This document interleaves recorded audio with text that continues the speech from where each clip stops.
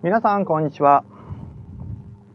管理業務主任者マンション管理士の資格説明のガイダンスを始めていきます。今回のお題がですね、えー、レック即習コースで無駄なく効率よくということなんですが、まあ約5分か10分程度ですけれどもね、えー、レックの、まあ、講座の案内をよろしくさせてください。担当はレック専任講師亀田です。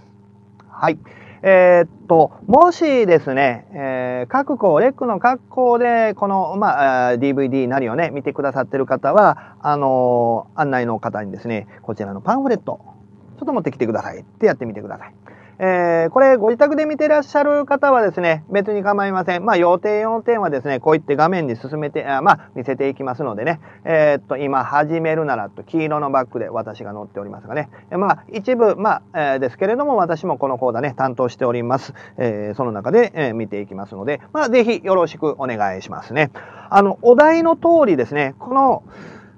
管理業務主任者の試験が12月の最初の日曜日で、マンション管理士の試験が11月の末の日曜日ね、えー、今、おそらく初夏か、聞いている人によっては晩夏、まあ、すなわち夏の終わりですね。あと何ヶ月というところでね、指折れる状況なんですが、あの、やり方さえ間違えなければ確実に合格していく視点であります。もちろん難関試験ですよ。マンション管理士なんかには10%切っております。管理業務主任者もね、20%とそこそこですので難しい試験ですけれども、あの、やり方さえ間違えなければ、はい、ここですね。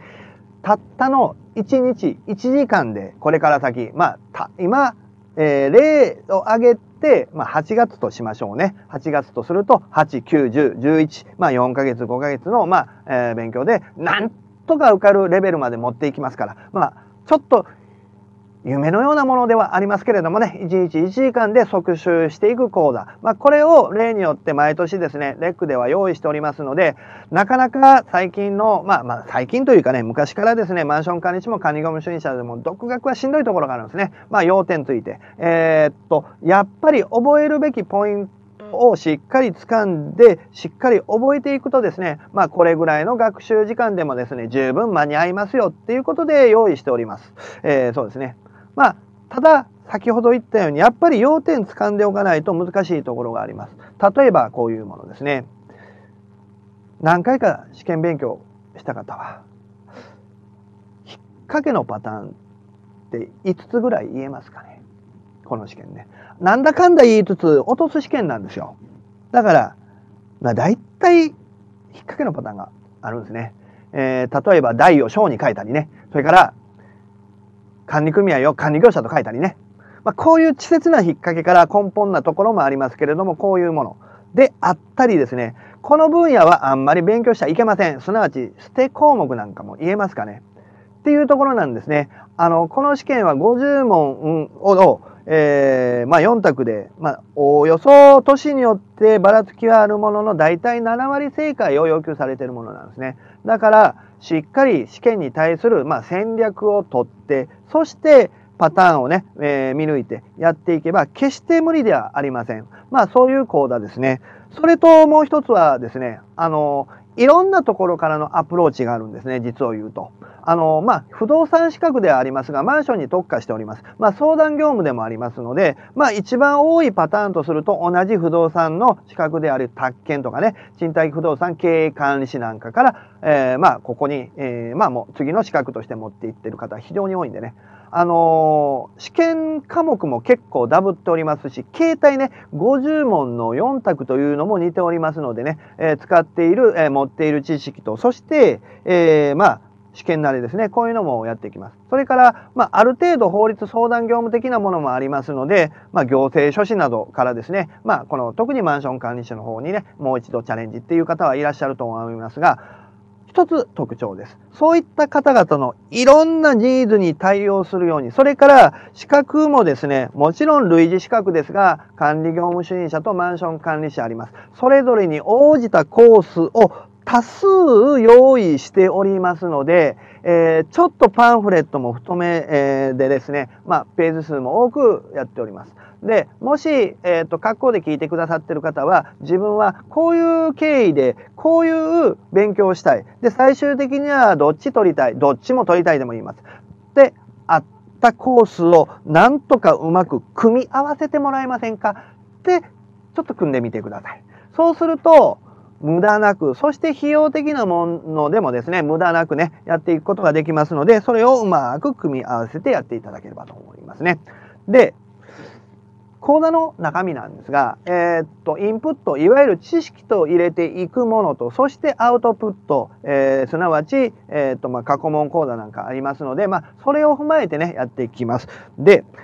ちょこっとだけでも中身見ていかなきゃなって思うのが、テキストの紹介ですね。えー、っと後ろから見た方がいいかな。あ、ページ数で言うと10ページ、11ページお持ちの方はですね、え、今回、え、っと、この即習講座は、えー、管理業務主任者マンション管理士デルジュン講座、まあ恒例のものなんですが、今年かなりリニューアルしております。非常に見やすくカラーで内容も非常に精査されてね、えー、やっております。で、同時に過去問集ですね、デルジュン分野別過去問集、えー、管理業務主任者マンション管理ともですね、法令系、実務会計と分けて、まあ、それぞれあるんですが、あの、見開きにして、そして非常に解説も見やすいようにしておりますのでね、まあ、その辺を踏まえてね、あの、まあ、本屋さんで手に取っていただいたり、それから各校で、まあ、見本見してくれでもありますので、あ、これだったらいけるなっていうんであればね、まあ、ぜひぜひ書籍も買い揃えていただいた上でね、えー、申し込んでいただければと思います。それから、えー、パラパラっと中身見ても構いませんしね。で、講義の内容、1点だけです。このテキストなんですよ。3冊分冊して、ページ数で何ページぐらいあるのかな、おそらく1000ページぐらい超えてるのかな？ってあるんですが、一つ、こっから先、もし仮に8月だったら8、9、10、11、結構きついんですね。そうすると、下手する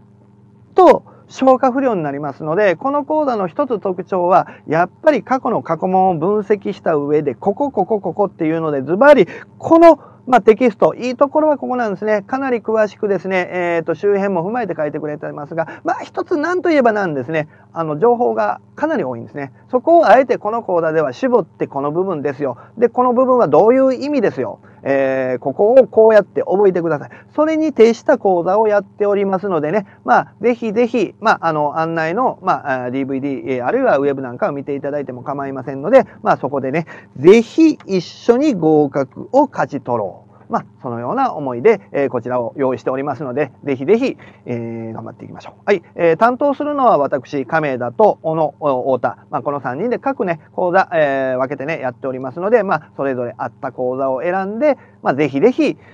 最終的にはこの2つの講座ね、えー、まあ、資格ね、受かっていただければと思います。うん、ほんの少しの時間でしたがね、まあ、例年に、えー、例年通り、えー、レックではね、この即習講座を用意しておりますので、ぜひよろしくお願いしますでした。